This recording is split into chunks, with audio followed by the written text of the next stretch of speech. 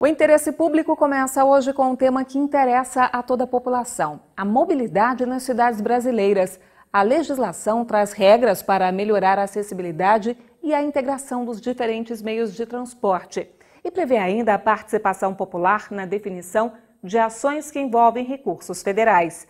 Mas a Prefeitura de Volta Redonda, no Rio de Janeiro, parece ter esquecido disso nos planos de construção de um corredor de transporte na região central da cidade.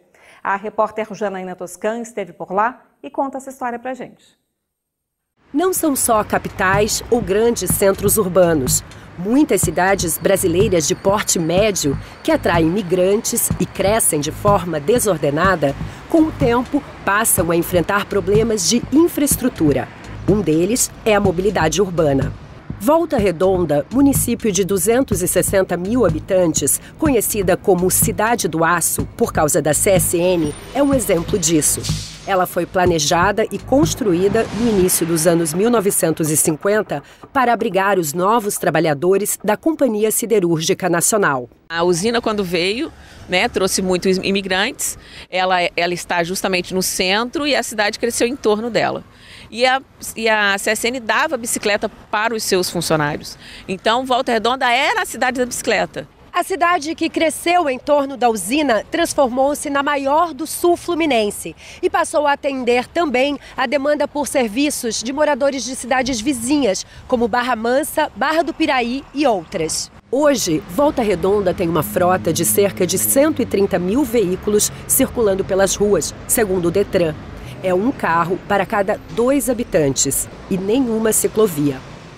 Outro ponto bastante discutido envolve é, estruturas de carga ou caminhões, por exemplo, que acabam transitando aqui dentro do, da cidade e impactam diretamente a mobilidade. Nos horários de pico, a gente tem um excesso de ônibus e nem sempre esses ônibus estão cheios. Eles fazem o mesmo trajeto a uma distância daqui de 5 a 7 quilômetros e muitas vezes o ônibus carregando 3, 4 passageiros. A questão é ampla e complexa, mas em 2014 um projeto quase saiu do papel a construção de um corredor de transporte na região central da cidade. Nós recebemos uma demanda inicialmente para discutir a concretização de direitos relacionados à mobilidade, à lei de mobilidade, e nos deparamos com uma contratação da prefeitura que dizia que ia realizar obras de mobilidade, mas aparentemente essas obras não estavam relacionadas à mobilidade.